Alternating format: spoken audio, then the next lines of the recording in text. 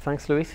Um, yeah, it's really nice to be back in, uh, in Newfoundland. It's been a, a few years since, uh, since I was last here, and uh, it also kind of reminds me of just how long it's taken me to, uh, to write up this, uh, this paper because it was a piece of work really that came out of my postdoc here at, at MUN. Uh, my old office mate Rich Callow, who, who now works in Norway for Statoil, he and I, and, along with Duncan, worked on the uh, looking at the Cambrian explosion in terms of the bioturbation and the uh, really trying to get a handle on what the the trace makers may have been doing. And I guess I became somewhat sort of fascinated, naive, and obsessed with this uh, concept of ecosystem engineering, um, which was uh, introduced in the 1990s really to, to talk about two different sort of types of organisms whereby they either their physical structures create new uh, ecosystems or their behavior uh, creates new ecosystems. And I guess the, the, the, sort of the classic uh, allogenic ecosystem engineer is the, uh, that Canadian icon, the beaver, where moving uh, trees around to completely recreate it or completely create a new habitat and, and produce a, a, effectively a sort of small pond to lake system was in engineering new habitats obviously precluding certain organisms, but also then creating habitat to be exploited by um, many others. And in terms of the, uh, in the marine realm, the, the, sort of the most important allogenic ecosystem engineers are bioturbating organisms. And this figure drawn up by um, uh, Lizzie Kallmeyer, who was a, a PhD, a master student here, summarizing some of the sort of classic examples from the marine realm of uh, of things like uh, here's a, a, a goby and a, and a, crab and a, scale worm living in this acid shrimp burrow, and, and the, the structures produced, this, this complex produced by the, the shrimp creates habitat ecospace for a number of different organisms. Indeed, th what this only really shows is the macro scale. There are many, many other smaller scale organisms living within those systems a variation on that, a different type of acid shrimp producing a more uh, pellet-lined burrow, which in the trace fossil record would be uh, probably assigned something like Ophiomorpha. Again, that structure has been uh, linked to a number of different uh, organisms living within that environment that are specialized to, to live in this, this engineered habitat. Um, and also, perhaps slightly more mundane fashion, I spent a lot of time on the, uh, on the North Sea sort of coast around Hull and the Humber estuary in, in England. And you see an awful lot of lugworm casts, so these uh, annelids living in a sort of J-shaped to U-shaped system um, and producing fecal casts, uh, producing a, a, I think the, uh, the red light has gone, producing a J-shaped structure which uh, has various different sort of microhabitats which are then exploited and utilized by, by different organisms and so what we really wanted to, to sort of try and look at was, was can we, oh, I've got a different color pen perhaps now, let's see what happens. Ah, okay, grand, yeah, so this is, a, this is the annelid, and again you'll see various different organisms living in and around the burrow system in different microhabitats created, engineered by that organism. So what we really wanted to look at was how this was potentially manifested in the geological record. Of course, in most cases with trace fossils, we don't have clear evidence of the trace makers, but perhaps we can still make some reasonable interpretations of, of what kinds of um, habitats are being created um, and potentially being, being utilized. And we've talked a little bit about this at other conferences. In this particular case, I want to look specifically at the evolution of, um, of, the, of the different burrow types in the earliest Cambrian and to sort of look at this you know, transition from uh, what we've seen in various presentations already today, that the sort of the mat ground dominated ecosystems of the, of, of the Ediacaran into the, the, the, more mixed ground systems of the, of the Phanerozoic. And of course, this uh, diagram is a little bit uh, abrupt in its uh, transition from, from one form into another. But what we then wanted to try and look at was can we look at the particular types of trace fossils and maybe uh, assess what those, those structures may have been and what they may have been uh, representing and what perhaps their impact may have been uh, on the infaunal uh, environments. And that then sort of raised the question of how do we try and assess which of these early burrow structures uh, how, you know, how, what kind of impact would, they, would those structures have had?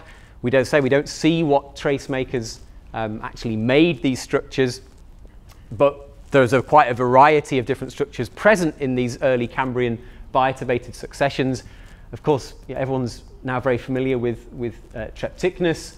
Um, here's a, a, nice example of gyrolithes from the, uh, the, the, Fortune Head GSSP succession. Um, and again, I guess I, I, really enjoy being an ichnologist in the sense that the ichnology community is very open to lots of interesting discussions, but we do have one minor issue at times, whereas we have a bit of a, a tendency to have terminology that, that sort of speaks primarily to ichnologists.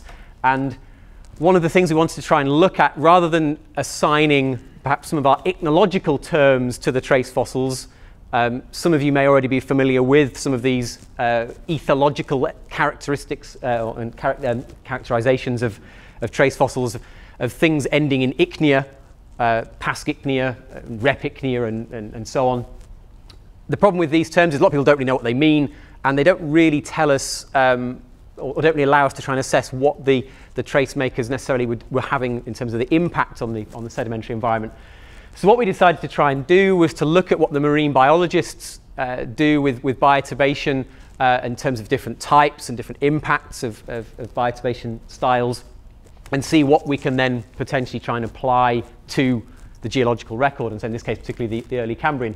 So the left-hand side of this figure uh, is, is a, a, summary diagram based on work by Martin Solan, who's now in Southampton, and Ben Wigham in, in Newcastle, um, who characterized effectively, well, they, they, had seven categories. We've slightly simplified it down to uh, six categories, which I think is kind of also what uh, Luis and, and, Gabriela did in their uh, ichnology book a couple of years ago. But effectively, they recognized that bioturbators were epifaunal locomotors or, or epifaunal locomotion, sort of trail structures, they were, or they were surficial modifiers. So these epifaunal traces were simply just locomotion trails moving over the surface.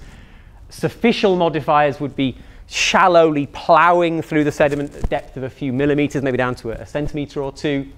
And then as you move down into the sediment a little bit more, there were various different types of, of behavior manifested. This is a, a photograph of, of, an amphipod uh, tank. We had burrowing amphipods uh, in the sediment, and they're effectively biodiffusing. They're moving particles sort of fairly randomly around on a small scale. They don't really produce uh, discrete burrow structures, but they move particles around on a, on a, uh, on a sort of small but relatively random scale. And then there are conveyors of we've got two different diagrams here because you can have upward conveyors, that's uh, burrowing animals that are bringing sediment down from, from depth and back up to the surface. Or you can have downward conveyors, organisms taking material from the surface and, and bringing it down to, to depth. We've kind of lumped these together as, as, as conveyors, but Martin Solan and, and Ben Wigham did dis- differentiate between the two having upward and downward. Regenerators are uh, burrowing organisms that don't necessarily live in the sediment all the time, and this particular fiddler crab uh, excavates a, a hollow um, and then and that sediment is then washed away and then it may move around on the surface for a while and then go back into the sediment and excavate another hollow and that sediment gets transported away. So effectively kind of chucking sediment out into the water column and then creating another hollow later on. And then finally uh, gallery biodiffusers to some degree still doing uh, what the wow am i running out of power on two red projectors? This is quite exciting. How many uh, no, it's still going. It's still going. The, um, the diffusion part of, of what we see in this type of behavior is present within this gallery system. This is again one of these callianassid shrimp, but they're producing uh, a much bigger gallery network. So although there's small scale biodiffusion taking place over short distances uh, within the margins of the burrow, it's actually then manifested over a much larger area because of the gallery uh, that the organism produces. So these are the categories that they recognize, and we thought, right, we'll, we'll see if we can apply that to the geological record. Then the ecospace model uh, Bambach et al. published a few years ago, uh, we wanted to look at, at, the sort of the depths that the organisms were um, uh, potentially going to. So are they going down you know, centimeters into sediment? Are they just at the, at the surface? Um, and then, last but not least, we wanted to also see if we could assess any indication of bioirrigation um, where the burrow is being irrigated by the occupant over uh, longer periods of time and this has been touched upon again in, in, in, earlier talks today, one of the key things about living in the sediment for any length of time is, is to keep that uh, oxygenation within, within the burrow system uh, and, and, allow the, the organism to live within the sediment. So virtually all organisms that live within marine sedimentary environments now in, in, in burrow systems irrigate to some degree, and many of them irrigate uh, for a considerable proportion of their, uh, of their lives. So what we then sort of try to say, okay, well, we've got these, these different um, ways of looking at bioturbation's impact. Um, can we then sort of apply them to the, the early Cambrian burrow systems that we see? So we've, again, from the work that Martin Solan and Ben Wigham did, you can effectively sort of say, well, the epifaunal locomoting structures have very limited infaunal impact. Um, and although it's not a, a, a, clear sort of stepwise scale of impact, in a general sense, the superficial modifiers are a little bit more significant, the biodiffuser is a bit more significant still, the regenerators a little bit further, and then the conveyors and finally the gallery biodiffusers have increasing uh, sort of ecosystem uh, and, and infaunal eco, ecospace impact. That can then also be sort of looked at from the ecospace model of taking, say, whether the, the traces are superficial, semi-infaunal, shallow, or, or deep. Um, how tiered are these burrows? How far down into the sediment are they actually going? Um, and then bioirrigation, we attempt to then look at whether the burrows being almost certainly not irrigated, occasionally irrigated, or, or irrigated. Now that's a rather more challenging thing to try and assign into the, the trace fossil record. So necessarily some of this is, is a bit more speculative than, than others, but the idea was to try and bring some of these, these sort of marine biology um, approaches back to trace fossils. So here is the, uh, the, the, Fortune Head GSSP uh, succession with a, a, collation of data published by, by various uh, people, um, some of Duncan's data and a number of other people's work, all sort of built together. So the, the, all the trace fossil types listed up here, a lot of them still sort of debated a little bit exactly that which name should be applied to certain ones. And then their ranges shown through the, the different, uh, different ICNO zones, uh, and then the, the more sort of uh, classic stratigraphy shown on the side, including some of the more recent names that have now been uh, defined. And then on the right-hand side, the sort of maximum tiering depth that has been recorded in this, uh, in this succession, and then the maximum burrow size. And you can see that here we go, centimetres, 0 to 6 centimetres on each of these scales. So you're not typically looking at large burrows and not looking enormously deep uh, structures. Okay. So just to quickly sort of show them an example of one, one particular classic burrow from the succession of what, uh, what we've applied to it. So Treptichnus we can be pretty confident it's not an epifaunal locomotion trail, but actually of the other categories, you can argue different ways depending on what you think Treptichnus was, and this kind of goes back to what Luis was talking about this morning.